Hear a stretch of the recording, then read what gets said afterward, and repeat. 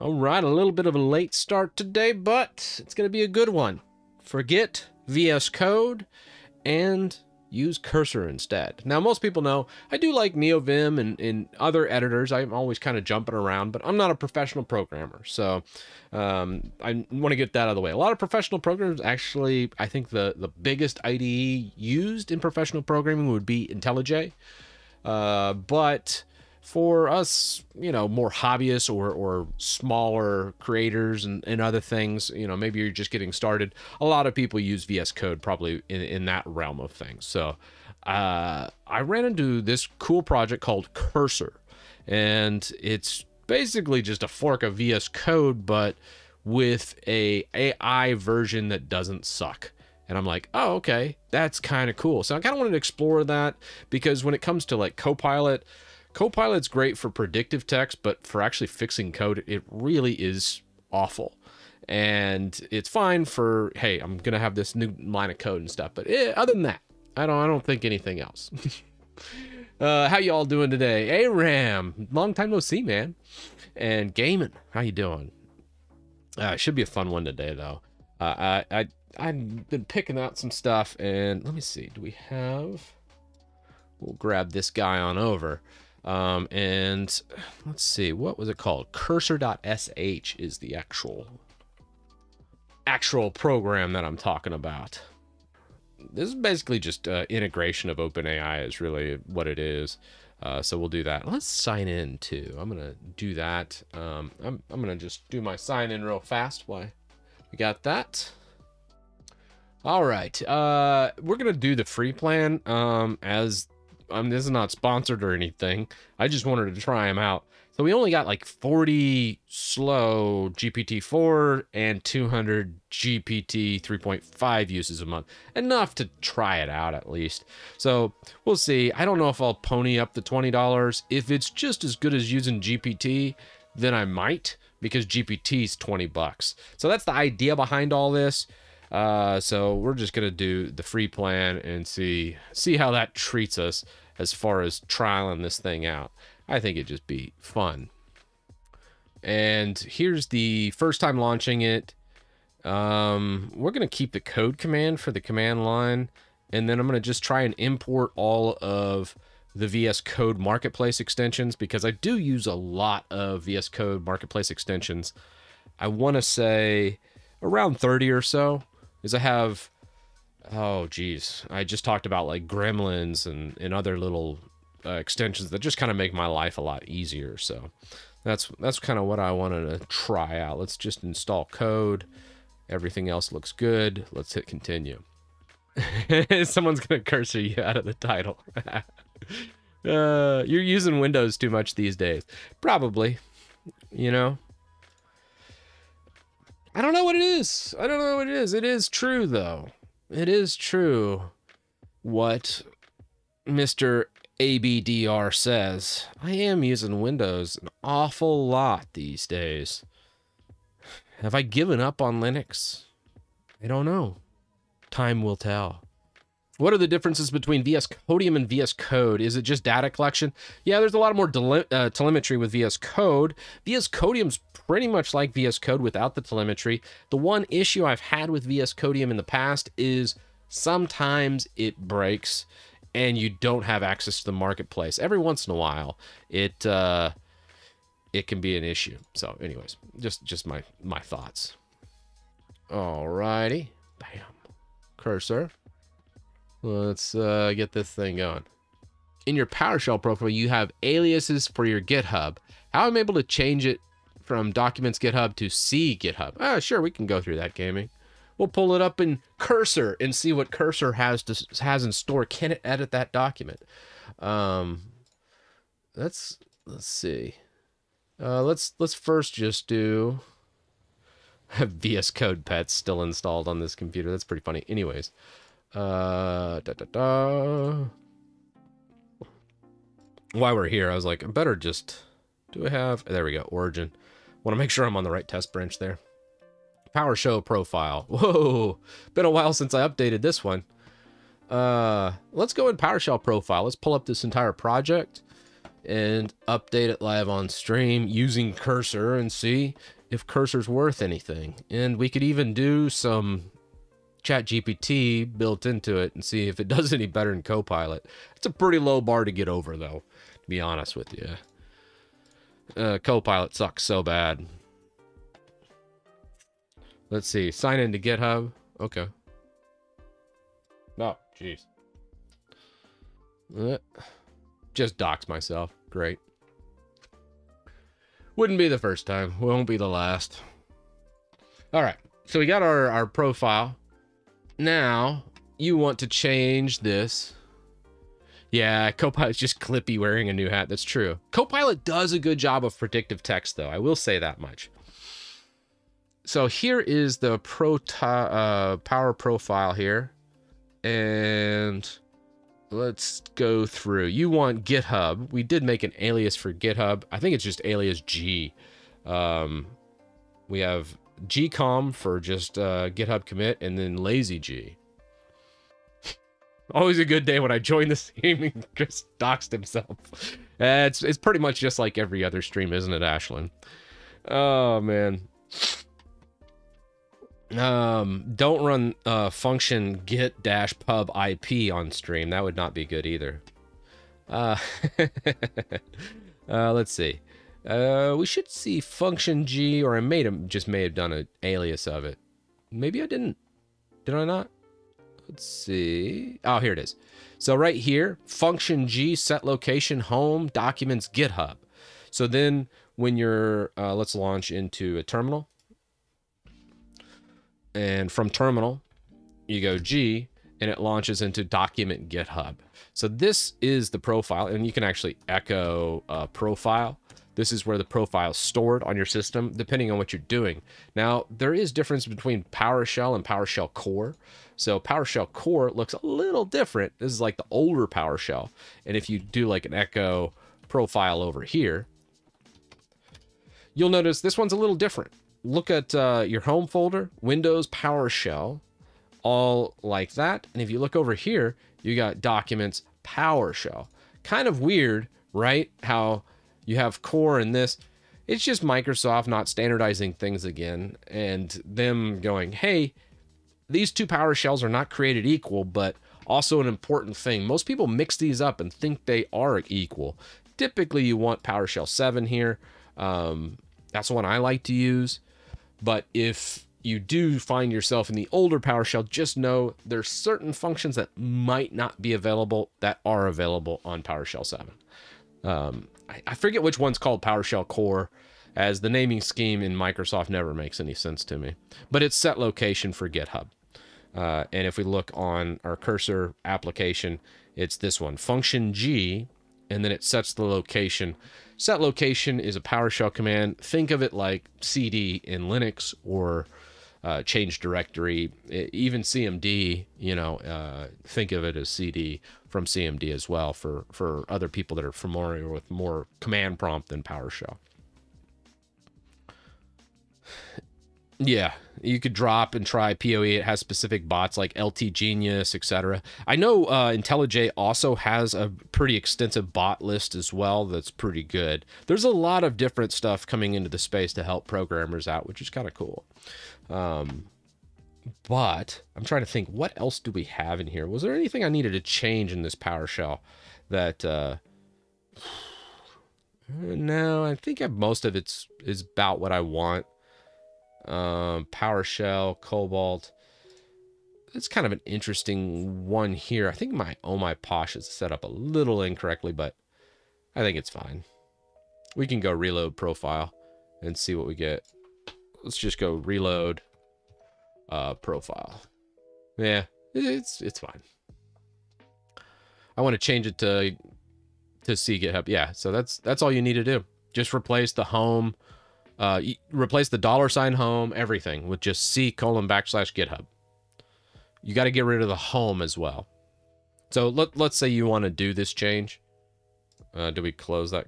You leave it to me to always close stuff. Let's pin that to start menu. Open it up. So let's say you want to make that change to uh, this path. So where it says set location, dollar sign home, and it's in the C drive root, it'll look like this instead. So this right here is what your profile, your modified profile would look like. Obviously, I don't want to do that because my GitHub's in the home documents GitHub folder, but uh, you can set up aliases. So if let's say you want to do like function C or uh, make new functions, obviously don't overwrite existing ones. That would be uh, no bueno. So you can add little shortcuts and you can see a lot of my shortcuts here is specifically taking Linux and then kind of converting it to a PowerShell type of thing. So anytime I'm like trying to do something, I'm like, God bless, I can't, I can't do this, or it's just such a convoluted mess in PowerShell, like finding a file or unzipping a file. It just gets kind of ridiculous, the syntax. I like to do a function to make it, hey, this this will do well. Uh, like this IX, uh, use an IXIO, RIP, actually. I can probably remove that. Did that ever come back? I don't think it did. Uh, I, I covered this in a past stream. IXIO was a clipboard, but... Oh, sad face. It is gone. I gotta find a new paste website. IXIO was amazing, though. I loved it.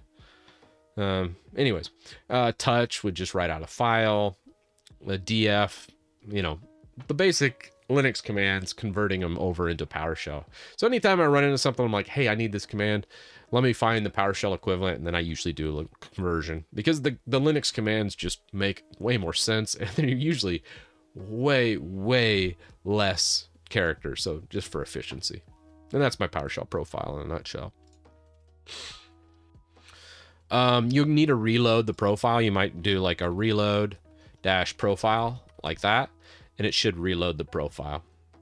Uh, and make sure you're editing the proper profile. You could also do like a Vim dollar sign profile uh, or whatever editor. You could do Notepad, right? And then do the profile. Uh, I'm going to just pull up in Vim. Now you can see it all right here. And let's say you want to go over to uh, GitHub you can see this function right here. Let's say you want to change it. You change it here and then you would write it out and then do a reload profile. And then you'd have the new alias that would assign to the proper, proper place, making you more efficient. Uh, yeah, NeoVim. So NeoVim's there. Um, I, I, probably need to do the next stream's going to be like, forget NeoVim, use Helix. I like exploring all the new new programs, the new hotness that comes out, and all the different stuff. Yeah, and, and like most people don't want NeoVim, especially Windows users probably will not jive. So most people, it'll look like this: Notepad profile. Uh, did no. Notepad's stupid. They don't know where it's at. Um, Notepad is there a certain syntax to open? No. Okay. Maybe it's notepad and it can't convert from a system variable. That would be stupid. But it is, yeah, that's what it is. Ah, Microsoft. Microsoft's program's not compatible with, with variables, apparently. Um,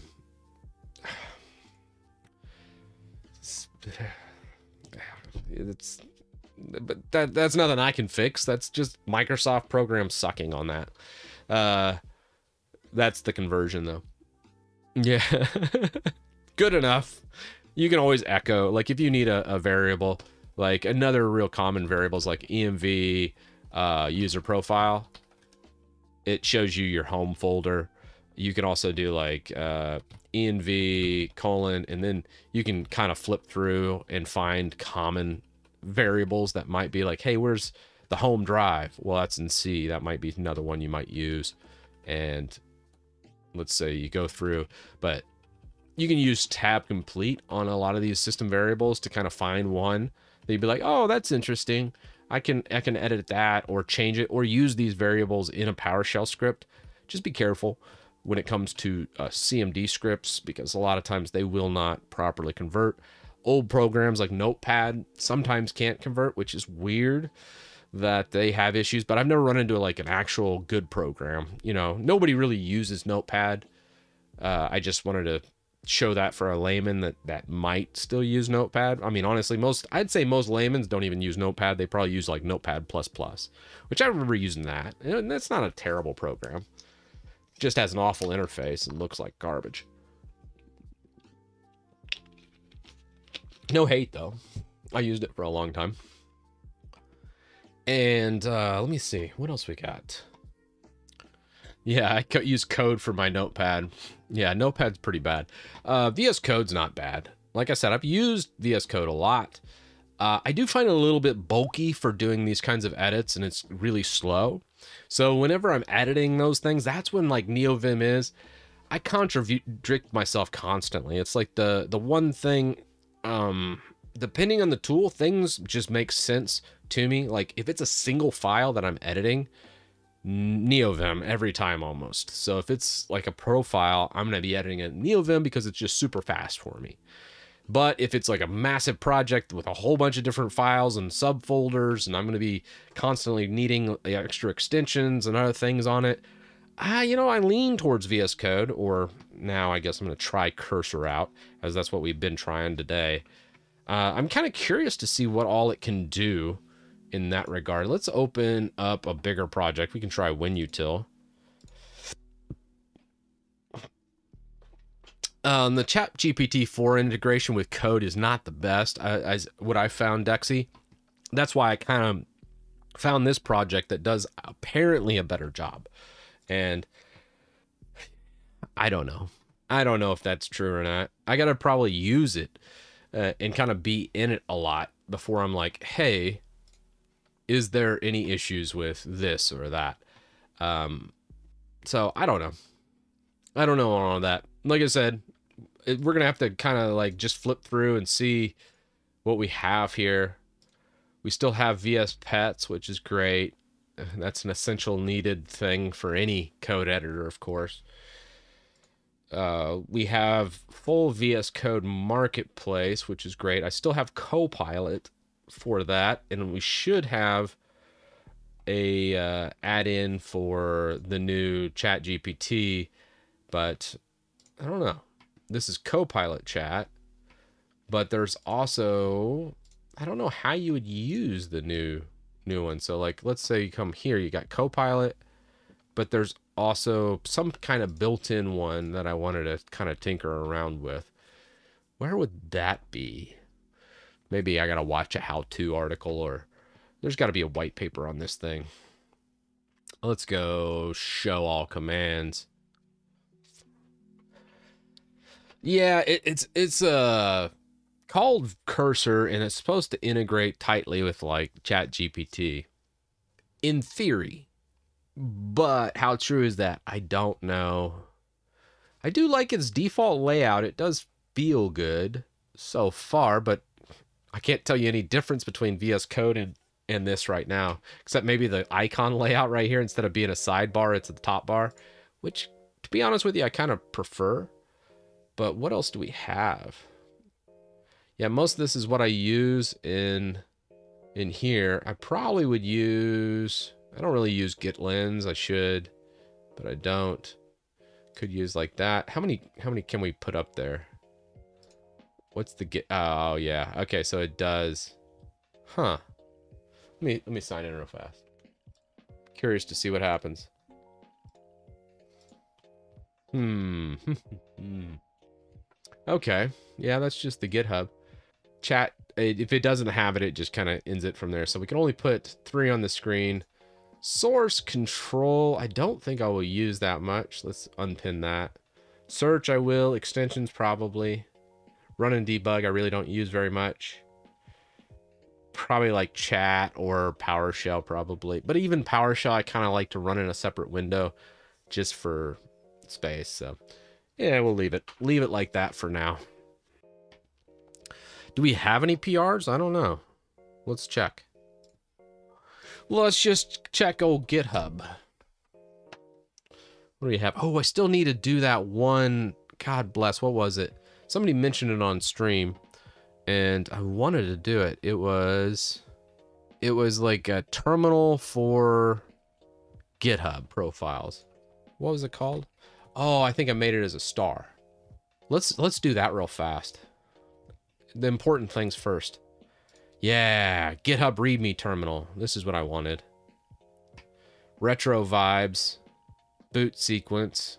I'm sorry guys, this is this takes priority over everything. We absolutely need this. All right, update README, then usage. Now I'm gonna have to host this somewhere, maybe. I don't know. Well, is this is just to build the GIF, and then we upload it. Possibly. Interesting. So then you create your toml. then you have... Huh. Probably would do one dark or Nord. You know me, I love my Nord. Yeah, yeah, King Root mentioned it. I know someone from chat mentioned it. I started I was like, hey. uh Let's see. Optional API keys must be present in the env or declared as environment. GitHub token and the API key. Might be able to do that. If we are messing around with the token, I probably won't do that on stream. but it does look optional. I wonder if I could set this up as a, a GitHub action that'll rerun every day. I feel like that would be the way to go about this. Ah, that might be something I play with offline then. Yeah, you can install a pipx and then just create the GIF, I want to say. Let's try it real fast. Let's just try it with base configuration, see if we can't just pull my my stuff in without like doing any um anything. Uh let's see Python problems. I don't know what it is. I always have problems running Python in Windows. It's just so much easier with like a Linux Linux instance. Let's just try that. All right. Um, we probably could just do pipx here. Let's see, what was the install command? Yeah, here's the pip, but I want to say pipx has, probably has the package. Let's just try pipx, install upgrade, and then just see if that gives us what we need. That's not pip, but I think we can do pip x here. Ah, okay. Maybe I didn't. Um, as far as Discord bots, I like to host those on VPSs that are always have a 100% uptime. Uh, languages, it just depends. If you want to use like a framework, I'd probably recommend like Redbot. You get, but the problem is you do have to keep up with them and, and update as needed. All right, so we got that. Uh, pipx. Uh, let's just try install and then GitHub README terminal. Thing I like about pipx instead of using regular pip is it seems to just install it system wide without having to do like a specific uh, environment. Um, no apps associated with GitHub README terminal. Try this again with include deps. Okay, let's try to include the dependencies. Okay, that seemed to work. Uh, let's just change our bash RC to include uh, this. Man, I think I got to pimp out my little WSL here. This is kind of embarrassing. Do we already have path somewhere in here? No, we don't. Uh, let's just... We'll go to the end. Let's just do an export of path equals um, path equals path colon, and we'll do like a control shift V. I think that'll work. Let's source bash RC. Okay. Hmm. Let's just clone. I've already done this before. I don't brain's not working quite right today. It's been a issue all week. You know, we all have our off weeks. This is mine. Uh, I think it was just my bash was the project name. Yeah, let's just go my bash. Let's just go setup.sh. All right, yes. Cool. Uh, let's source source bash rc. Perfect. Um, echo path. My path's a little ridiculous, but I'm pretty sure we got that user bin file or uh, home bin file. Yeah. Dot local bin. I think we have that now. What was the, it was Titus dot local bin. Yeah. Titus local bin. Perfect. I know, don't look at my path. It's a little ugly, but oh, did I mistype? Did I put like a colon or something? Uh, well, it's fixed now.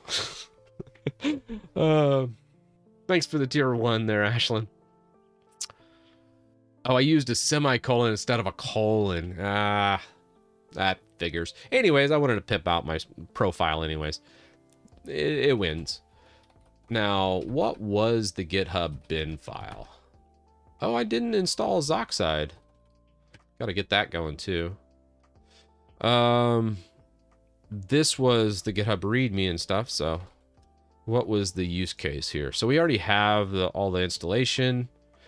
For the use case, we'd want to go into .config, go gifos, inside the TOML files as environment settings. So let's go in there, Dot .config, let's go into the TOML files, uh, or, uh, oh, those don't exist, right? GIFOS is what it's called.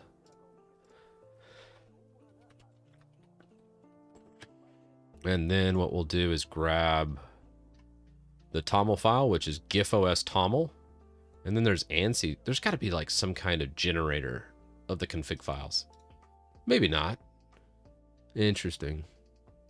Uh, does it work on Bash on Windows? Um, well, I'm on Windows. Uh, you talking? This is Bash and WSL. Not quite the same. I don't think I've ever. Is can you run Bash from PowerShell? Oh, yes, it does work. oh, you know, I never even tried to run Bash from PowerShell. That's the interesting. Uh, huh. It gives me some ideas. This is Oh My Posh. And then we got the special one. Yeah. Yeah, okay. Okay, Bash is WSL. It just launches an interest. Eh, that That's what I thought. I was like, well, I didn't know there's a native Bash. There isn't. That, that, that makes perfect sense. All right. Let's, I guess, build these files manually. That's what I'm thinking. Um, and what do we have? I guess we'll just let's just copy the default config file.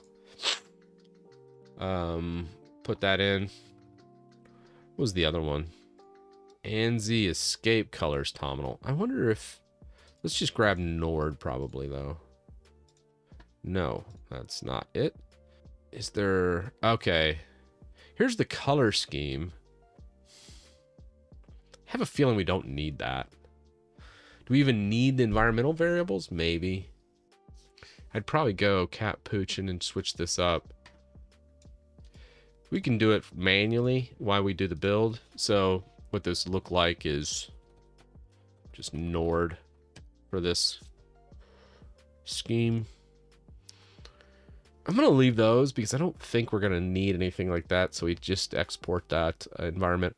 We could always do like a hacky way with toss it in like etc environment, but I don't think we'll go that far. I want to just do a quick run through and just test it and see if this works. Uh, GitHub, show and tell. So how do you run it now? This is the configuration. Here is a basic demonstration. You import GIFOS, TGOFS, Okay. Huh. This looks like just, is that Python? And then you're just running this script and then it spits out a GIF. Feel like that's what's happening here. Looking at the code. Could be wrong. Yeah, that's what I'm thinking. Documentation's a little lacking, but it's okay. It's a cool project. Heck, let's give it a whirl. Um, let's just go gifos.py, maybe? Let's see if there's already a command there. Let's try gif giftopnm. What is giftopnm? Huh. No. I don't know what that binary is. In no command, I think we just run the py script then. Let's go gif os dot py. All right, let's try that. We'll just build it like this. Probably like uh, do like an execute privilege. I don't know. I'm just throwing crap at the wall right now, so please feel free to correct me. Ah, okay. Thank you, Faye. So here's his example. Main.py. Oh, that's cool. I wonder if he's he's got to be doing like a GitHub action here with this as well. I like his setup, but if we look at the README, I think this will also do what that one is, just a little bit less. So let's kind of tinker with this and see what we want to do. Because I, I, I get it. He, you're building this GIF file that's going to get outputted. And I think we could set up like a GitHub action to do this exact same thing. He's doing a lot of extra stuff with his GIF image. And he's using Python to build the GIF and then insert it into the profile. I know this is supposed to be a cursor stream, but uh, yeah, we're working in terminal, and I ain't using I ain't using a GUI editor when I'm in terminal. That's for that's for special people. All right, uh, let's go Python. Um, and can we just do GIF OS Py? Uh, Python not found. Did you mean maybe Python 3 then, right? I don't know. I, I, I don't use Python Okay. File line 15, invalid syntax. Oh, we got syntax there. All right. Now let's try cursor.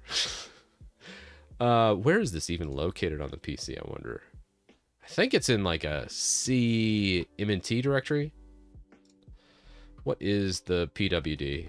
Let's just give us the full path. Home Titus. But if we look at Linux, yeah, we should be able to pull into here and then I think it was under, we put the py file git gifos and then we got the py right here. Let's open with, and let's open with cursor. We'll just do just once because we don't know if it's worth anything. Now let's see what it finds. It says cursor not separated. Oh, oops. There's an F right there. We have a not defined variable. That's a warning, though. Shouldn't be anything. These are just C spell errors, which is nothing. So that's that's what did it. Now, save all. Let's go ahead and do toggle autosave. I'm kind of a big stickler for autosave anyways. Let's close that guy out. Now let's run it again. I think I just had F at the end to mess things up. Okay. G-I-O-F not defined. Did you mean GIF? Oh, I did. G-I-O-F-S. This is actually GIF OS. Yeah, that. I, I must have fat fingered that. Okay. Partially initialized module GIF OS has no attribute terminal, most likely due to circular import. Yeah, the topic's just a mild suggestion. That's what I'm kind of doing now. Uh, so, did this make anything? Account name, username, file name, output. So this didn't make anything, no. Let's try to use the terminal built into here and do a run through as it as well. Now, does it, it says this has GPT. Does it though? Hmm. So here's terminal, ports, output. So if let's say we do like a run, what if we start debugging? Python file. Select Python interpreter. Can we install Python? Oh, Lord. All right, sure. Install it from the store. Feels dirty, but let's try it. Okay, Dev Panda sent me something. Oh, no. All right, that's fine. So we got Python. So select interpreter. Python. Sure. Could not be resolved. Can we just say, here, we'll try Copilot, fix this.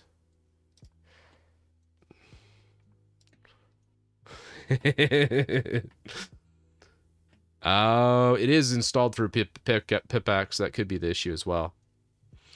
Yeah, and honestly, we're running through an interpreter on Windows now, and we didn't install it through Windows, so that also would be an issue. Uh, so that's why this couldn't be resolved.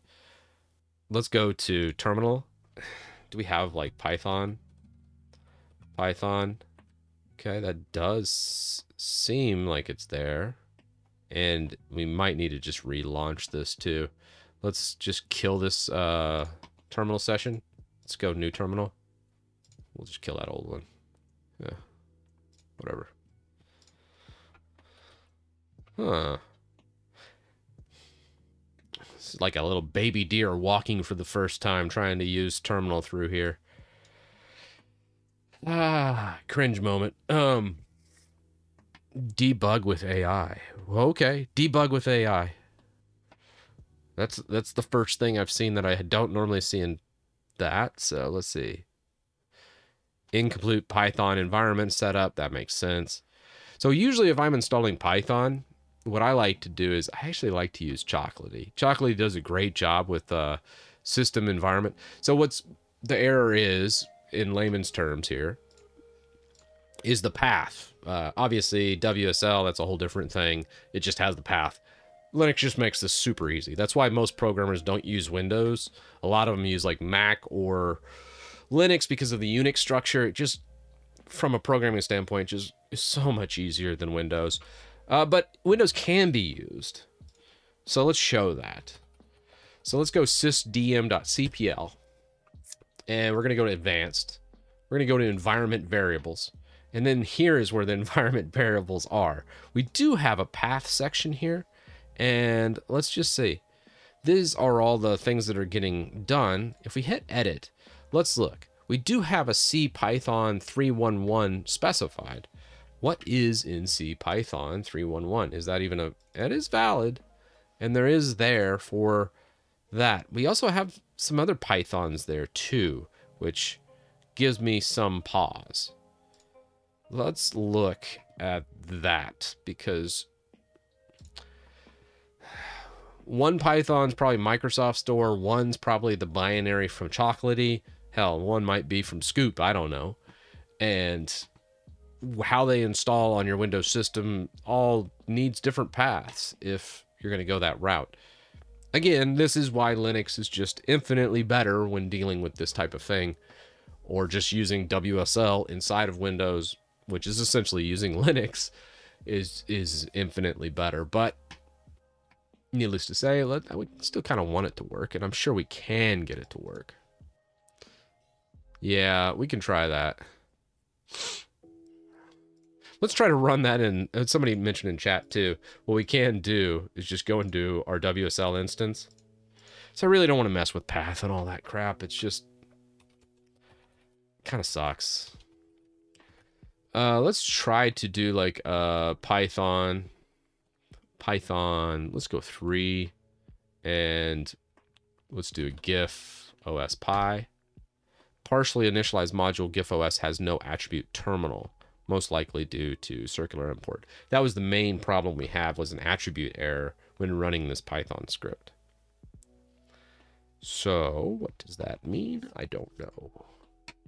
Let's try uh, this guy's file and then we'll modify it and see if it still gives us the same error. I'm just kind of curious. All right. Uh, I think I actually just cleared out my path. Um, what did I do with that? Let's copy the raw file. Okay. What does this look like? Invalid syntax in line one. Okay. Probably need to do like Faye suggested with the virtual environment. All right, let's try Python dash m. What was it? V and V test. Uh, oh, Python.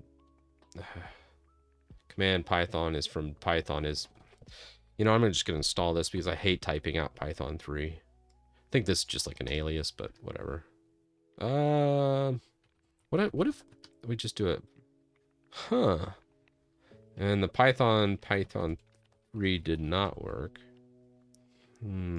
Oh, we're having a squirrel moment here. Okay, never mind. It did work. Cool. So now we got the venv test. Now we should be able to just uh, activate that. Uh, what is it? venv bin activate. Oh, did we have a folder that was created? Let's see. Um, this is not exactly how I wanted to do it, but whatever. It gets us there. Uh, activate. Do I need to make this executable? I don't think so. Please don't do anything I'm doing here. I'm just punching stuff at the wall. It's fine. Oh, source venv activate. Source it, don't run it. Oops. Uh, all right. So you'd go source test, bin, activate. Then you're in the test environment. Now you can run it. Okay. So this you you go pip install and then uh the readme. Let's let's rerun this.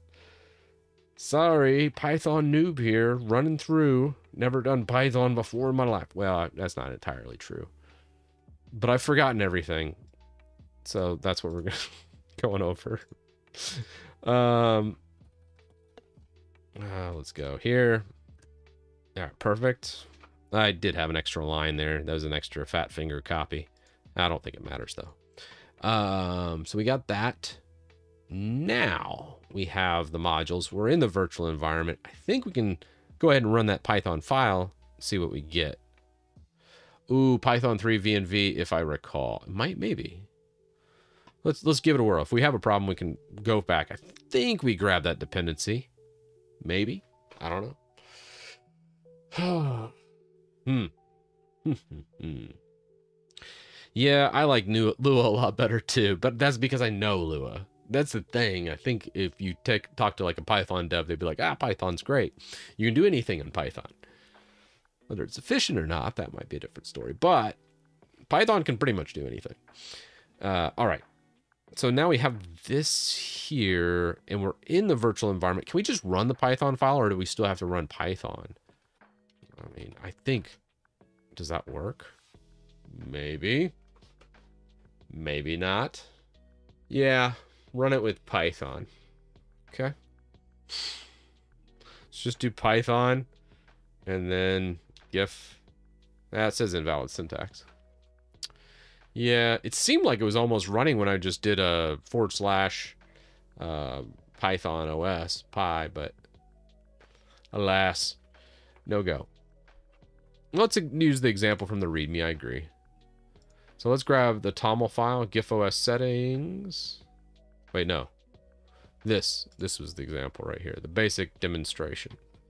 So let's go gif dot py. Um, let's go v g mm, the end, and let's paste that. All right, and then if we do like a gif os again, I just want to see. I know that's not how you run it though. It's just gonna not do anything. From date time has no space, so invalid syntax. Ah, uh, gotcha. So let's try Python and then do gif os pi. The F got returned there again. Why do I keep doing that? Weird. You'd think I wouldn't, but oh well. All right, name GIOS not defined. Did you mean GIF OS? Um, maybe. I don't know. It feels like the README file or the example isn't complete, right? Maybe not. So we got the T, GIOF. I imagine this would be, should be this, right? I mean, me and my rudimentary puny brain.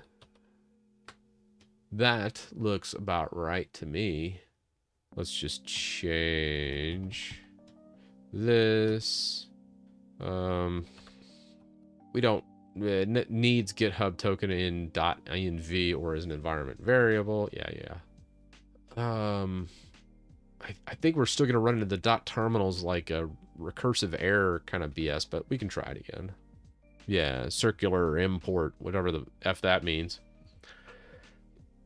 Doesn't know how to interpret the first line there. I think we'd still run into the syntax error. We, I mean, we can edit this. I, like I said, I think this project's really rough around the edges. Reminds me of like a project I'd throw up. I think he got it working and then he just kind of tossed it up without proper documentation. That's kind of where I'm at with this. Let's see if there's like a, there's the sample. There's no real docs. Very cool though. I might tinker again with this. I would, I, I just wanted to try basic usage here just to see if I could get some kind of output. But um, might have to wait for proper documentation. I don't know. Very neat, though. Let's go here. Showcase your unique profile. Has anybody done it? Oh, this guy did it. Let's see what his looks like. Oh, that's pretty cool. Oh, wow, he did a little login. GH fetch. I probably would speed up the typing, as I don't think very many people are going to wait here and have all this printed out for you. It's cool, though. A little cowsay. Alright. An interesting GIF. Anywho, next series, the perfect WSL setup. I think, Patrick, you're on to something there. I think you're definitely on to something there. Oh, the GitHub token. I think, honestly, though, it's something with terminal based on that based on what I'm seeing from here, there's no attribute for terminal. And I think that's really what's stopping this as well. There might be some other issues too. Honestly, I probably would just boot into Linux and try this out. I I hate doing this in WSL because I don't want to say, hey, it's it could be a WSL error, it could be a lot of different things as well.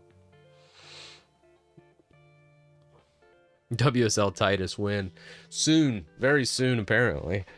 That's all I do is I'm just Linux nonstop these days. All right. Uh, where's it importing GIFOS? I think we did the install of GIFOS using the pip command earlier in the stream. So that's uh, the idea behind it. Uh, again, I'm no programmer of Python. So I don't know. You have the same terminal issue with the short example. Okay. Yeah, I think some of it's uh, documentation. I, like I said, we could look at some of the examples that other people have put together, probably piece together something and get it going, but I don't really care. It's more of a fun project. I wish I could use Linux for a living. Windows makes me want to die every day. Mm. Uh, there's there's a lot of cool stuff out there, but yeah, so I have lived in Linux, but a lot of times, um, I always come back to Windows for this and that. There's always something that brings me back. It's, it's what I know, and honestly, uh, a lot of my professional certs and, and a lot of my expertise all come from Windows, and my day job, pretty much everything's still Windows. So that's that's why I still have quite a bit of Windows. And honestly, uh, it just depends on what I'm doing that day. Sometimes it makes me angry, sometimes just mildly frustrated. But I guess you could say same. So there's been days where that's true for Linux as well. Let's see. We got pull requests. We got uh, open, choose alternate scratch. We got tweaks. We got Cygwin to development. Uh, you know, it's been a while since I've seen. Uh, did people still use that? I thought everyone switched to WSL. Remove Nano from applications. That's a someone added Nano we we had a we had an infiltration of a Linux fanboy into Windows utility. He added Dolphin and Nano and a bunch of other crap. Uh, how to make Windows users pissed off at you? Well, that's a good way to do it. Ah, oh, man, just in a day. This is this is only this is only a day's worth of PRs, two days worth of PRs, and we already have nine. Good night. All right, what do we have? Uh, let's just quickly go through here. Foxit PDF, editor, editor, okay. Like, do we care about that? Oh, there's an editor and a reader. Huh. I guess that's fine. Ah, editor requires a license, reader does not. I did not know. Foxit requires a reader? Wow. Oh, the module names comes from the file names. Oh, okay. Let's try it real fast. We, so we were right there. Dang, did I just almost give up right at the finish line? That's funny. Uh, what do we got? What was it? Test? Uh, let's go config. GIFOS. All right. Then let's just go test. Bin. activate. Uh, Hi. All right. No. Maybe it's Python test bin activate? Or no, it was VMV.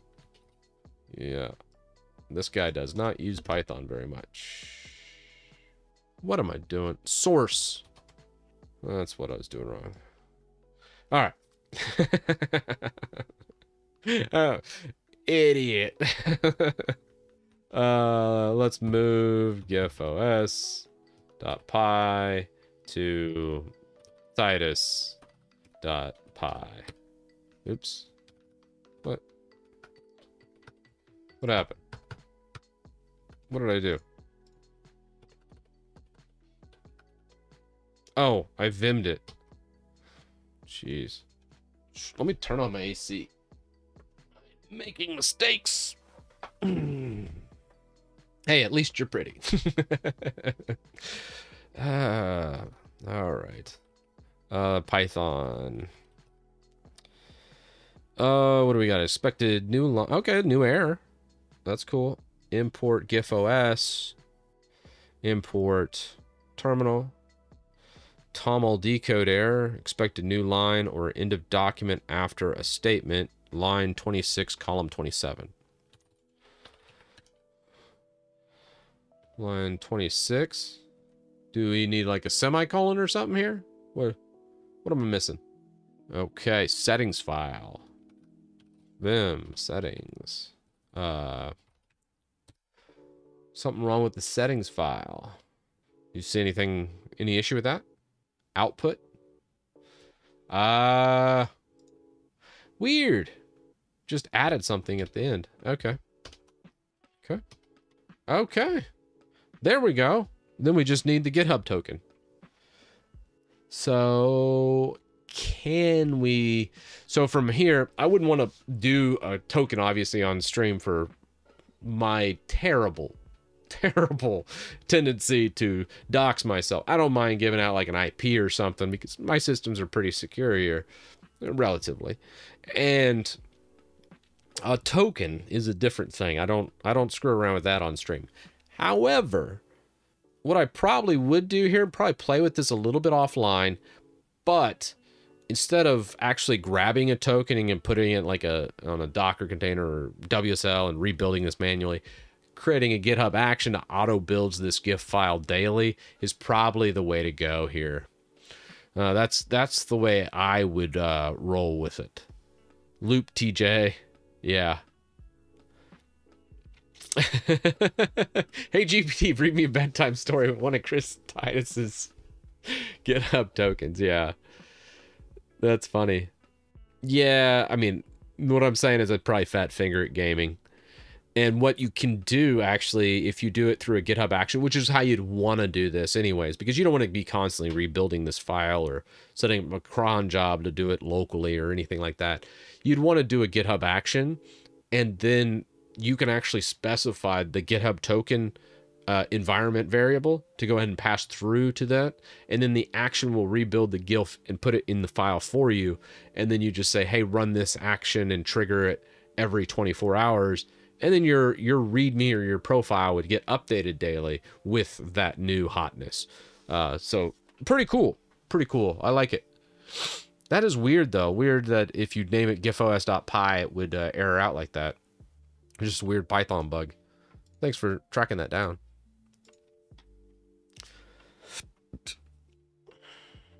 Okay, well, I guess we, we can go ahead and merge this. Let's approve and merge. Um, let's first, what is that? Can you do elevated PowerShell prompt? Yes. Inside of uh, VS Code. I guess it doesn't matter. It would actually auto elevate, but still kind of interesting. Configure terminal settings. Okay. Just checking cursors integration, seeing how we do automated profile for Windows. Auto replies, confirm on kill. Never. I hate confirmation. Just kill it. Cursor blinking, cursor style. Enable bell. Ugh. No, don't show a warning. Okay. You can specify specific environments. Font family. It would be cool to use. You know, I don't really use the integrated terminal very much. Even in VS Code, I didn't. Uh, mainly because I just really liked the regular Windows terminal, but you know, all right. Huh. All right. Let's go new chat. Let's just change this to, ooh, it's cursor fast. Let's just say change cursor to launch terminal with admin. You can change to launch terminal with, oh, look at that. Hey, a little AI actually does a pretty, well, you guys can't really see that, can you? Can we move this? Open AI chat over here. Yeah. Okay. Now you guys can see it. So you can actually do a little AI chat. Oh, that's neat. Okay. You can do sudo gedit. Um, oh, wait. this is GNOME terminal. Uh, that's funny. Okay, well, no. I mean the terminal embedded inside of cursor editor in Windows. Ah, okay. You can do a run as. That's a janky workaround. Yeah, we ain't doing that. All right, good to know. I, I, I thought that was the case. It was the case in VS Code as well. Uh, good to know. Yeah, this is pointless to me. Let's just uh, see what we got. All right, so we got the description of the pull request. We can just check it out. You can see the changes. Good. Now, what I want to do here is let's just do a build and then run the file. We'll do a compile and a run, just double checking it. You can see we're on loop TJ PR 1507. So we'll do a compile when WinUtil. Now, most times I in the past I did not check this every single time for each pull request, but after getting burned on a couple pull requests, I'm like, all right. We're compiling, running, and then uh checking each each individual commit. So let's uh we've already checked it out. That does look good. So let's uh, squash and merge this, and then we're gonna switch back to the old branch. I'm gonna try and do all this in the editor itself too, just to see where this goes. Can I move this panel? Move it to the right, maybe. Kind of want to put it over here. I'm gonna make it the size of chat. All right. Squash and merge that. Yes. Uh, the reason why the compile I don't really need to commit back. So let's say we go back to the main branch here, which we should be able to go back to here and then come over here. And then let's uh, go description, fix broken link and sync thing. Let's check this out. And this is just NanaZip. That's the only change it looks like. So we would check it out. It's kind of tedious doing it this way. Little fixes like this probably don't need to be done this way, but let's go over. Let's close that. It says we're on main. Are we though? We're on the main branch. Okay. I don't know if I like this workflow.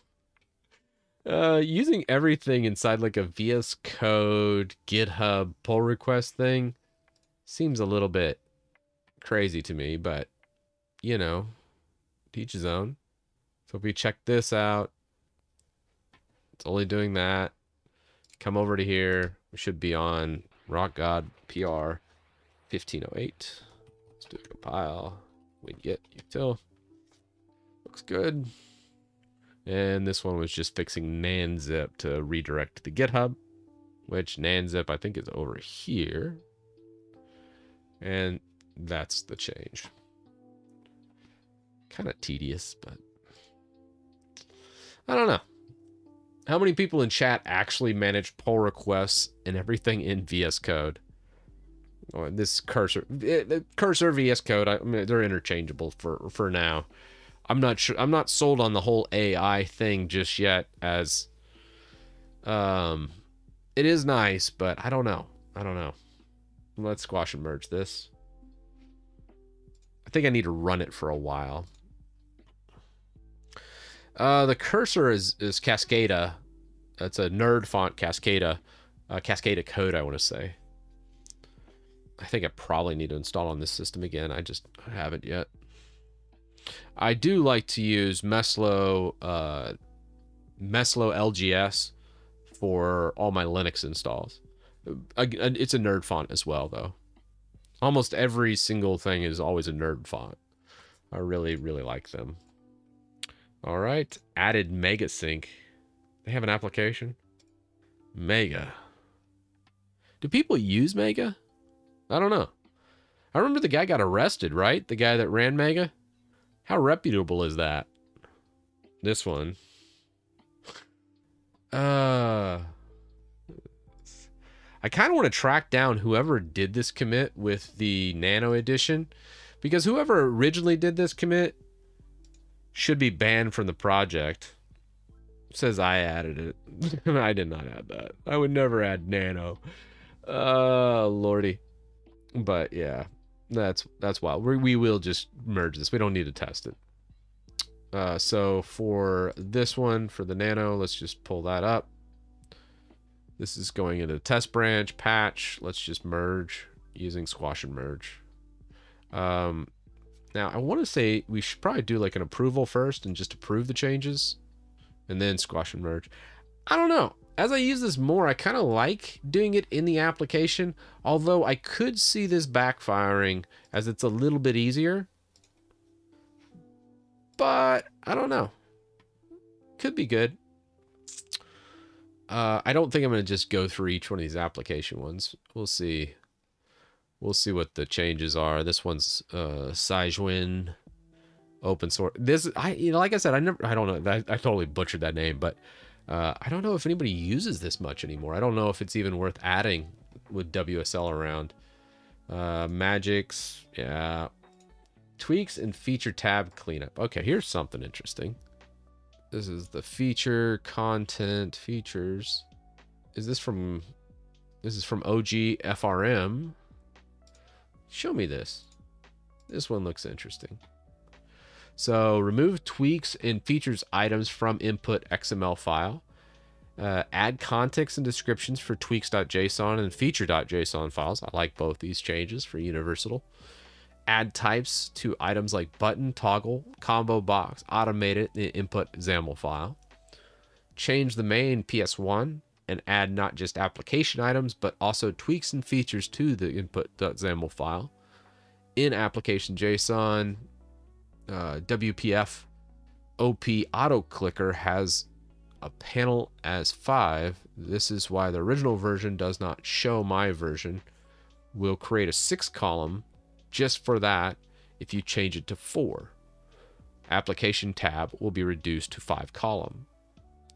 Interesting. Okay. Let's take a peek through the code. These are the changes. We're adding extra descriptions into the WPF feature. And all these guys. Type 200. Type 300 and fix.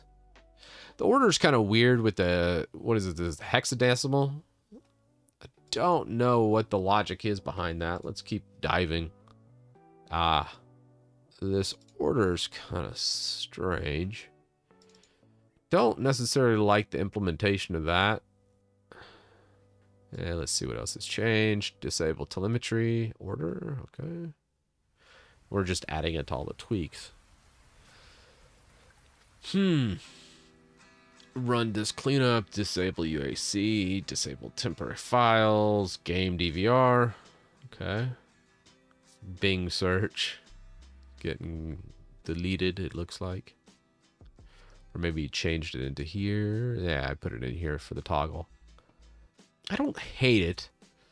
I just, I don't know. I'm a little apprehensive of this formatting. There has to be a reason why he did it this way. Uh, let's take a look at the changes to the main. We have the get tab XAML. Actually, not that much uh, lines are changing here. Grid definitions. Stack panel, checkbox. Okay, features. Nothing else there. And then we have the input XAML here, where, again, it's just taking out all these stack grids. A lot more uh, deletion, and then it just pulls in the JSON and puts it in. And I want to say when he's doing this, there's got to be be a reason for that order. Just don't know it. All right. And this is just the compile. I don't know. What do you guys think on this one? It's a very cool tweak. I like it, but it could be very convoluted as far as the ordering system goes with how it looks. It looks like a hexadecimal is the best way to put it with an underscore after it in the JSON. I think for standardization it'd be good, but I, the only reason I'm apprehensive of that is for a layman, I think that would get really weird for adding things. So let, let's check it out, see what we get. I'm kind of curious. Uh, it says I have some local ch changes. Um, let's just let's just go back to the test branch. Pull commits, yeah. From and to. Uh, what what are the local? Let's double check this. Looks like we just have these, but we have this WinUtil change. Kind of curious. Let's do it. The WinUtil is going to get overwritten anyways by GitHub Actions. Let's do it in app. Please clean your repository working tree before checkout. Okay. All right, fair. Let's try one more time. Yeah, it's not gonna allow it. That's funny.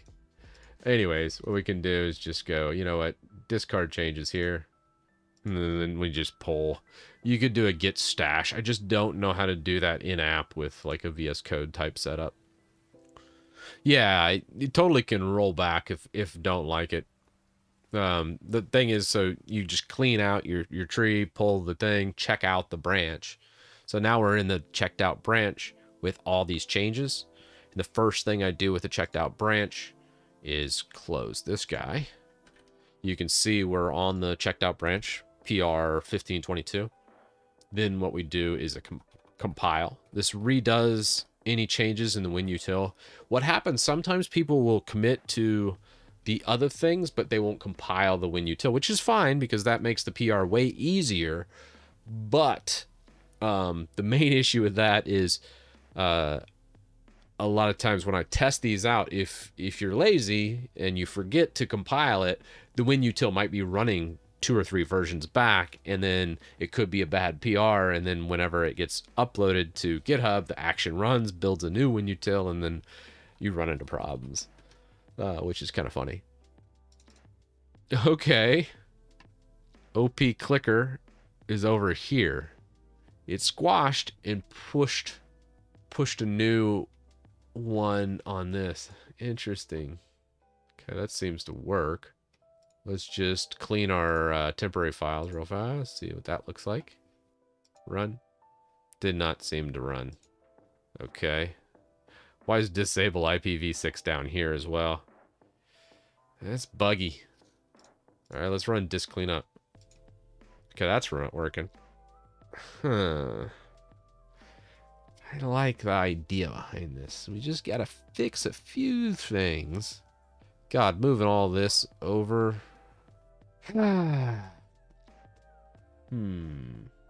Ashlyn, you dirty nano user. Vim is superior in every single way. I will die on this hill. Emacs, sure. Org mode's pretty cool. The, the funny thing is most people are complaining about the thing Emacs and Vim users can all agree on is Nano sucks. Right? Nano is awful. Any NeoVim, Vim user, Helix, Emacs, all of those users will just monumentally agree with the one thing. Nano is just awful and a peasant's tool. no, no, you you're converting people in chat there, Ashlyn. I see you. Nano's the devil. I use micro. Oh, y'all are killing me. Y'all are killing me. Okay. Uh, let's look at this feature set. Uh, da, da, da, let's look at disable IPv real fast. So we have the feature over here disable IP. No, must be in the tweaks JSON. So disable IPv6. So where did this go wrong?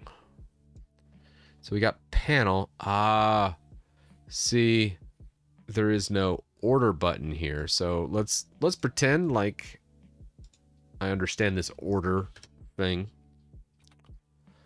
And instead of 30, let's go 31. So it would be enable and then disable. Let's do a recompile. See what that looks like. Then when you go to tweaks, yeah. That's not bad. Is there any other problems? Let's go here, install features. Okay. We'll reset the network. Okay. Winget reinstall. See if that works. Okay, yeah. Legacy panels. Power panel. Okay. Looks good. User accounts. Nice. Updates. Micro win. All right. No, I think this is actually a good commit.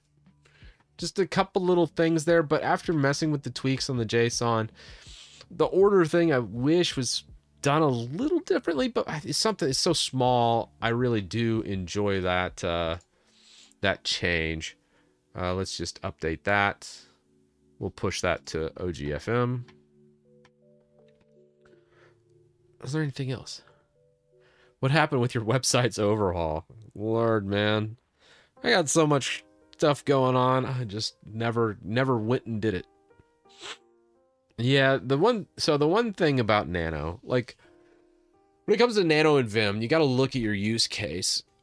Most people that are in like a GUI, like Windows users, they're not going to be using Vim or, or a terminal-based text editor almost at all. So it's not really a big deal. Most people just use like VS Code or whatever it is. Um, it's just how it is, or IntelliJ probably. But like, let's say you're logging into a server I could never use Nano in a server ever again. After learning like retrieve, just just one function from Vim. One, learn how to edit exit Vim, learn how to save a file in Vim, and then learn retrieve. Once you learn retrieve, let's say you need to retrieve a UUID for an FS, uh, you know, FS tab for a hard drive. Think about trying to do that Nano you literally would have no way of copying and pasting that file in Nano. Um, maybe you could do it through a Tmux type situation. I don't know. It's just so strange and, and weird. I've, I've seen Nano users literally write down UUIDs by hand and then type them back in. And I'm thinking to myself, wow, that's super inefficient where if you just did a retrieve of the BLK ID directly at the end of the FS tab, you could just copy paste uh, or or in this case yank and paste that file directly into where you need it in the FS tab and you're done. That's where like Vim is like light years ahead of Nano. You're going to save so much time. So that's where there where I'm like, man, I just I could never use it. Just just my thoughts. What is worse than Nano or Teams? Well, Teams. Teams is worse. Teams is way worse. Teams is always going to be the worst. Well, I don't know. I think Skype's worse than Teams. So let's not say Teams is the worst. Skype's the worst. Skype's is below Teams, which if you're using Skype in 2024, man. No. Just I'm going to pretend like that doesn't exist. That hurts my brain. Anywho. Uh, this actually looks like a really good commit. After flipping through here, uh, taking all those off the XAML file, putting them in, man, I dig it. I really dig it. All right. We're to prove that. And then we're to squash and merge this into, let's come into here. Did we, I thought we approved it. Let's refresh. Yeah, we updated the tweaks.json to include that ordering of the disable IPv6, and then we approved the code. So now we should be able to just merge, merge it into the test branch. I kind of like this new workflow. It's not bad. It really isn't. All right, cool. Uh, anything else? Choosing alternate scratch path and busy. Lee Dow. I think I finally got it. All right, Lee's Lee's working on learning uh, GitHub. He, he made a couple bad commits, but you know we all got to start somewhere. Um, found a bug in the compile.ps1 when they move more than one file with the same function is causing havoc. Okay. Well, let's see what he's changing here. We got an invoke scratch dialog. All right, he's adding a function. Uh, using a variable assign that is not being utilized anywhere in the code. Are you copy pasting? Are you using old chat GPT on me? I don't know. Usually when I see something like this, I'm like, oh, that might be a. You remember the days of Stack Overflow copy paste? That's usually what happens when you run into a brand new function with declared variables that aren't used anywhere. Maybe it is used somewhere else in the, but I don't know. Let's see. What else we got? Uh, MicroWin Scratch BT. We're adding a new Scratch dialog. And we have this, where we're doing a busy message when it is grabbing the ISO. I do like the idea behind this PR, by the way. Um, let's check it out. I think this looks goodish. uh, other than the, that that which I just like, hey, that's funny. And honestly, we could just kill this. Frankly, let's see what. I, well, let's just run it. I guess it doesn't matter. Dialog show new folder button. I don't think that's ever used anywhere in here. It might be used in the main. I don't think it is though. Let's just see if that's anywhere in the project. No. It is not. Hmm.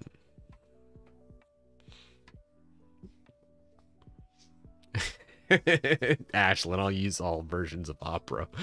Uh, well, you know I'm having an off day if I accept a, a PR with adding Opera browser to to the toolbox. My word. All right. Uh, let's see. Let's check out this PR. Uh, Lee looks like I think he, he think he did get it here. Let's check it out. All right, so we checked out old Lee's. Let's come on over here. We're going to close this bad boy down. We're going to do a compile. We're going to go win util. All right, we got our micro win. Interesting. All right. So then this is the scratch one. So let's say you want to put this in a scratch directory. Select folder. You can also use ISO directory for scratch directory. Ah, not a bad idea. Let's see what that does. We're going to grab an image file. Let's just get like 23H2, the latest Win 11. Let's test that. Paste that into the scratch directory. Oh, and then make pro by default. I agree with that, King Root. Let's take a look. How many clips do we have of me bashing Opera GX do you think we have on the channel now? Probably 10. Might get a, like a cease and desist letter in the mail. That's how many we have. Beat that horse to death. I like it. Okay. Does seem to be pushing the Scratch directory over into this specialized directory, which is not bad. And then let's see if we can't make it. Let's just improve his PR while we're at it. Let's just go over to files. Let's just go um, microwin helper is probably where it's at. And we're doing the filter. Index chosen. Sync MIMS flavors selected value. Uh, this is going to be the flavors. The index. Let's see where that's at here. Image version. Index. Okay. So this is when it actually goes forward. So we probably need to trim this over or, or uh, not trim it, um, set the index value, select the value split zero. Let's see if we can't take our little GPT. All right, let's go and say, hey, yeah, yeah, yeah, go pet, go. Ah,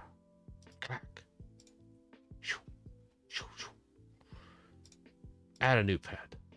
Throw a chicken in there. Elsa the chicken. Go. All right. Uh, anyways, um, got distracted. Let's go to chat. Is this get? Oh, it's Copilot chat. Uh oh, no. We don't want that. We want the new, new source. What was this called? I don't know. I forgot the editor name. What was this called again? We want the new one. Changing it. All right. Hmm. No. No. What the hell was this called again? Cursor is what this is called. All right, cursor. Where, oh, where is your AI helper? Give me that. Give me the AI helper. Spawn a pet. Give me a rat or gray rat. We'll call him Shadow. Oh, okay. Sorry, I got sidetracked again. Um, mm, nope. Pull request, debug, ports, commit graph, open remote window. Mm-mm. Hmm. If I were AI and I was in here, let's just go more. Let's go AI chat. AI. Nope. Chat. No. Probably like code. Uh, code? No. What would that be? Search for text. Uh, uh, uh, uh, uh, uh. And. Hmm. Chris, are you still doing IT supply for the law firm? Um, not really. I do, uh, I guess my official title is IT manager. Oh, support? Um, kind of. I have, uh, I do support for it. It's just, um, I have uh, a guy there that does most of the support these days because I'm only there like one day a week. So there are times where, like, let's say he runs into something really complex, or there's an existing system that maybe he's not familiar with. He might uh, reach out to me and on an off day, and of course, I'll, I'll help in that regard. That doesn't happen too much these days. Uh, so rarely we do that. Right now, they're doing a huge conversion. they they've expanded to three different cities and have three new offices. And I think we're finishing like the main office or the new HQ in the next month or so. So that's still going to be on my radar, like where we did like some cable runs and some other fine tuning. And obviously the move's going to be a pretty big deal. Um, after that, I don't know. We'll see what happens. We'll see if they want to keep me around. if they do, I'm more than happy to go in one day a week or one day every two weeks. I don't care. Uh, until they say, you know what, Titus, I don't think we need you anymore. If that happens, then hey, it's been a fun ride. All right. Now, we got to set this index version. I don't know how Cursor does this. Let's see if there's a help or editor playground. Run. Ah, shit. I had it pop up once for me when I was in a file, and I can't remember what I did for it. I probably should have cursor settings. Uh-huh. There is an API key you can put in instead of doing like in a full-blown version if you want to just do it per cost. That's interesting. Privacy mode, advanced. Huh. All right, let's look this up. Cursor, editor, AI usage. Okay, so it uses an AI code editor similar to VS Code, but it uses the OpenAI API to comprehend your local code base and provide answers on that. How does it work though? All right, install the app, give access, access to, okay. Provide basic settings with a repository. We've done that. Access to OpenAI. It shows it as a toggle on this right screen. So it looks like a dock almost. And the interface is just the right. So let's see, there's gotta be some window I'm missing here. So it should be over here and terminal output. Um, probably if we look at the view, appearance, editor layout, maybe secondary sidebar. Ah, uh, okay. Let's just close this sidebar. Let's go new chat. Let's go change this to GPT-4.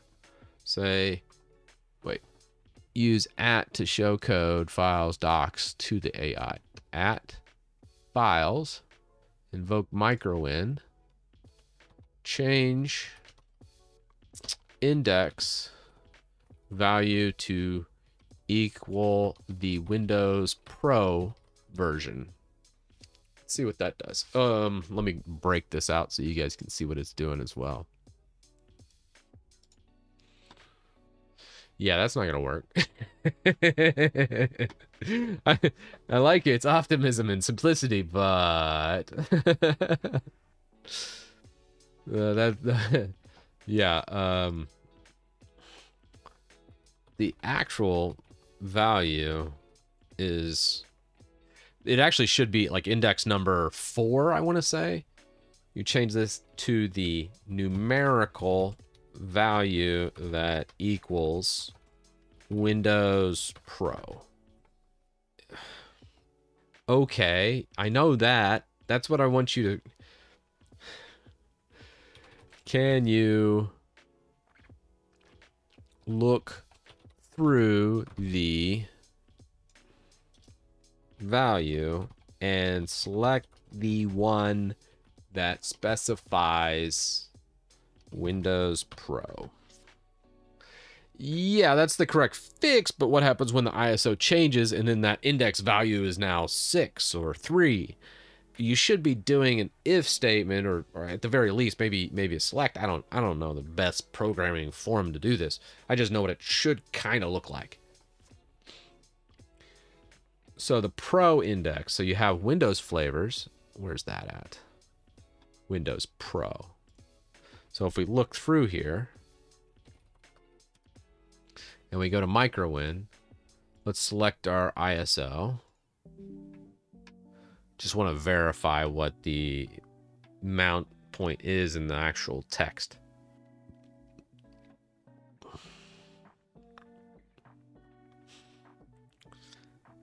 Change line 140 to invoke uh, BP get ISO to sync selected the index, that's where it's pulling the value from. Oh, it's not even pulling it from that value? Okay. So it would be Windows 11 Pro on this one, but if it's a Windows 10 ISO, it wouldn't pull this value. It would be index 6 in this regard, where the default value is index 1, I want to say. So we're not even the right value in this one. Um, let's see invoke WPF get ISO is the actual value. Invoke WPF get ISO uh, index. Ah. Index.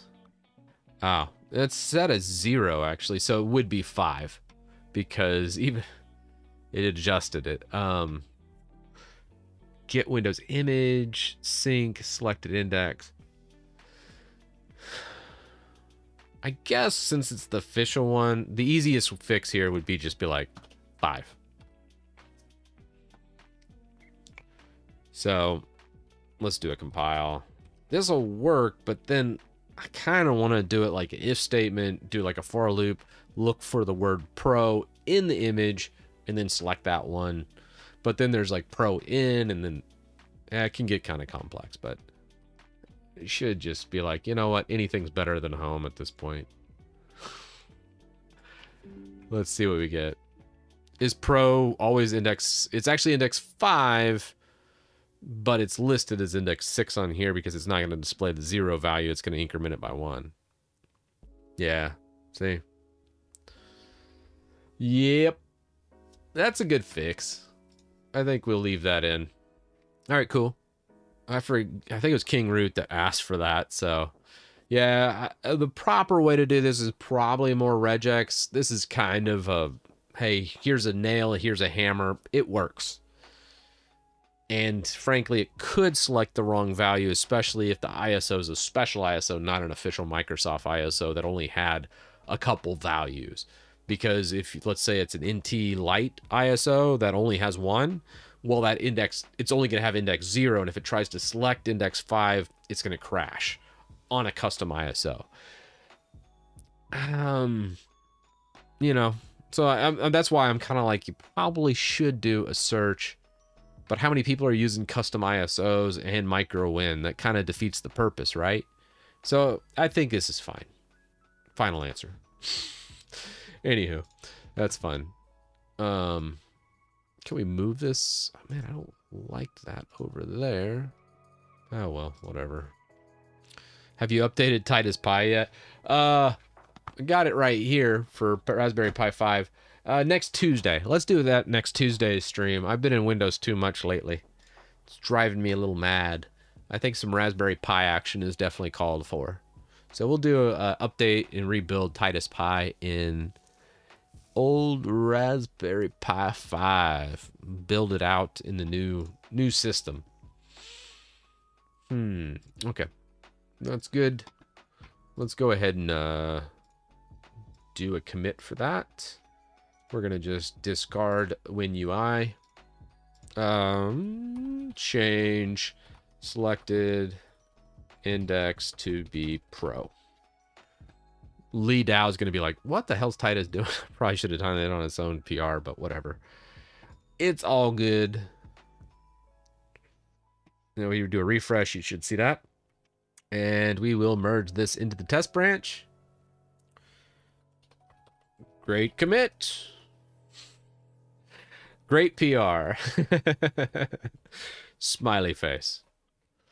Since he's he submitted like I think this is his sixth or seventh PR, and I've denied all his other ones. Uh, but I do like this one. It's a solid PR by Lee. And squash and merge. Perfect. Man, I have all those orange pies. I absolutely have to. Absolutely have to do that. I gotta I gotta get those orange pies done. They're so old at this point. I'm like, I'm just ready to write them off. But I'm I'm not gonna. That's that's pretty funny. Can we move this over here? How do I, uh, appearance, primary sidebar? Okay. Mm, dude, uh, all right, primary sidebar. It's on the left. So we want it on the, no. Okay. Can we put two on the left? I wonder. I'm just still playing around with this. Side, top, bottom, hidden. Let's go hidden. Left, bottom. Uh, let's go bottom. See what that does. Okay. View, appearance. The primary sidebar, I want to move that to the left. Okay. Yeah. Above where the file tree is. Yeah, it took me a minute. Finally got there. Although, arguably. Um, come back into here. What do we got for all open? So now we just have like a creative cloud cleaner tool. Ooh, this is an interesting one. Get rid of Adobe. I'm always a fan of that. Add a new function for handling the cleaner tool. Put it in the right branch at least. adding an Adobe CC cleaner tool and pushing or pulling from here. Is it doing like a wget? How's he doing? No, he's doing a web request. Pulling it out that way, grabbing that, start process. Dude, super simple. Very nice. Look at that. Who is this? This is a new committer too. Mr. Kin Hu. Dig the commit. PR adds the Adobe Creative Cloud Cleaner tool. Why this is a cool commit is if you are an Adobe user, which most people that use Windows are, it's the reason why they use Windows from an advanced user perspective. because most people don't want to use it. They're either usually most people are there because of the Adobe products and they don't like Mac, or let's say they just don't want to spend the money for Mac, uh, or both. That's both me. and that's why a lot of times if I have to use Adobe, I'm in Windows. Uh, the Creative Cloud Cleaner tool is absolutely needed because if you're ever working with like different versions of Adobe and you go to install multiple versions, it just becomes a complete headache. And the Cleaner tool does a good job of actually flushing your system of Adobe. Think of it just like eating a bunch of junk food and then you get like really bloated. This is just a good way of cleansing the system of all that Adobe poo. uh, I like it though. That is cool. Uh, it does have branch conflicts. I wonder what uh, the branch conflicts are. This one and this one. I don't see any issue with either one of these. Oh, yeah. We'll have to modify this PR because we've changed that. Um, let me see. I'll ask him to pull the changes down and see if he can't just submit the new ones to the features JSON, I want to say. So if we look at the new features JSON, where you at? Feature JSON. Uh, we're on the wrong PR. What are we? Well, we didn't check out his. Oh, we're on Lee's. Okay. Let's go back to test. All right, sync that. Perfect. Now let's go back to JSON. So what I need him to do is add in this extra thing we because we committed this new one where you do like an order and then he can actually specify the order in here and then there's no changing of the XAML file. Um, and I want to say he wants to put it in the feature section. And if we look at the feature section, when you tell config. Yeah, go into feature section. So this that would go into the fixes. It would just be an Adobe one under the fixes section. So it would be feature JSON. Let's see if you can do that. Um, let's request changes. Say, uh, can you pull down the new changes to from the test branch and use feature.json for adding this instead of using the input XAML as this was the old method. Thank you. Request changes. Perfect. All right, cool. We went through all the, the cool PRs. Uh, there's some other ones in here for like just applications, which I, I don't care about those. We'll I may eventually add them or not, but uh, like ImageMagick K is a pretty cool PR. I'll definitely add that. Mega and, and these a little more obscure, and if it's super obscure, I don't really want to add them just because it it's going to bloat up the tool, and more is not necessarily better in that regard. So that's uh that's my thought process there. Yeah, eventually I'm gonna get the channel points back. I think you guys have brought it up every stream for like the past month or so, so I need to get going on that. Um, overall, from this stream using Cursor, it feels very much like VS Code. The AI could be good. I think I just need a lot more time with it. I'm definitely not signing off on Cursor and saying, hey, use this instead of VS Code. Because right now I feel like didn't really give me anything extra. And a lot of the things I, I threw at it didn't necessarily read the file very well and give me a proper one. Although I did feed it the wrong file uh, when I was trying to do the selection. So again, jury's not out with that, so we'll have to uh, have to do it. Dexy says a MEGAsync would be amazing. All right, we'll add it then. I'll add it. We already got the PR there, so that should be fine. All right, y'all. Take it easy. Have a great one. Love y'all, and I will see you all in the next one. Peace.